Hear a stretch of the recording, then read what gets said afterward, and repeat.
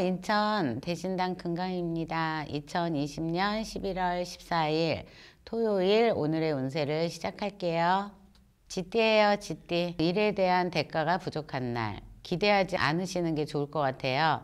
내가 아무리 열심히 일을 해도 오늘은 일한 만큼의 대가가 없는 날이니까 그냥 그러려니 하시고 보내는 게 좋으실 것 같아요.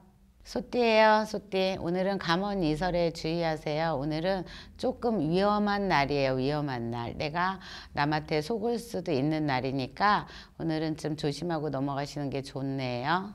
호랑이띠예요, 호랑이띠. 집안에 근심거리가 생기는 날이에요. 어디서 생길지 모르지만 어쨌든 집안일이니 잘 다스리길 바랄게요. 토끼띠예요, 토끼띠. 어, 뭔지 모르는데 불안한 마음이 막 찾아오고 이모저모로 불안한 일들이 막 생기는 날. 마음의 안정을 좀 가지셔서 편안하게 지내시는 게 좋을 것 같아요. 용띠, 용띠분들 오늘 짜증내지 마세요. 아무것도 아닌 일에 이렇게 짜증이 막 나는 날이거든요. 사소한 일에 짜증내지 마시고 그냥 즐거운 마음으로 보내시면 될 것 같아요. 뱀띠예요, 뱀띠. 오늘은 큰 마음을 먹고 행동하세요. 뭐든지 하면 된다, 하면 된다. 이런 마음을 가지고 행동을 하셔야지 어, 내가 오늘은 어떤 성취감 이런 걸 느낄 수 있을 것 같아요. 말띠예요 말띠. 작은 거는 버리고 큰 거에 욕심을 내시는 게 좋을 것 같아요. 눈앞에 이익을 두, 두고 음, 이거를 할까 말까 망설이지 마시고 작은 거는 그냥 과감하게 버리세요. 그래야 뒤에 큰 소득이 찾아온답니다. 양띠예요 양띠. 오늘은 남에게 배우는 날 어, 상대에게 뭐든지 배우세요 좋은 점은 다 배우셔서 내 걸로 만들어서 오늘 그거 써먹어야 돼요. 그래야지 내가 오늘 현실적으로 어, 손재를 안 보고 좋은 일이 있을 것 같은 그런 날이네요. 원숭이띠예요. 원숭이띠 좋은 의도가 있더라도 남의 일에 간섭하지 마세요. 내 의도는 좋은 마음으로 간섭을 했지만 어, 나쁜 화살이 저를 향해서 돌아오거든요. 그러니까 오늘은 남의 일에 간섭 안 하는 게 좋을 것 같아요.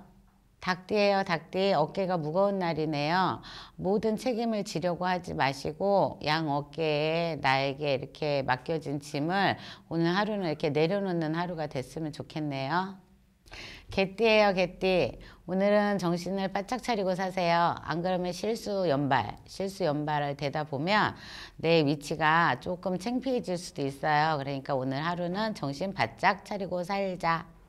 돼지띠예요 돼지띠. 어, 오늘은 강해지는 날 나를 다스리는 날 나를 잘 다스려서 내가 강해져야 돼요 오늘은.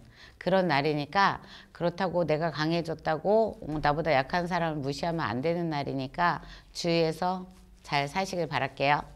자 오늘도 이렇게 오늘의 운세를 마치겠습니다. 이렇게 시청해 주셔서 감사드리고요. 내일 다시 찾아뵙는 금강이가 되겠습니다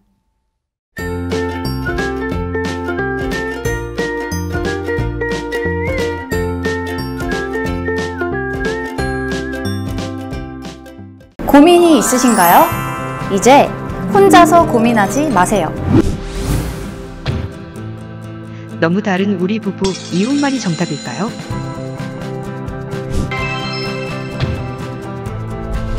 행복한 연인 사이에는 사랑이 있습니다. 부부 갈등 문제는 부부 문제로도 갈등을 유발합니다.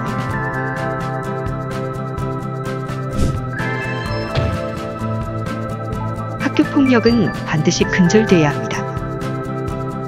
부부 갈등, 이성 갈등, 고부 갈등, 학교 폭력 등 누구에게도 털어놓지 못할 고민 이제 전문 심리 상담사와 만나보시는 건 어떨까요? 1대1 심리 상담을 통해 현대인들의 스트레스를 풀어드립니다. 고민에 대한 소통은 대화로부터 시작됩니다. 심리 전문 사이트 여기마자 심리 지금 바로 상담하세요.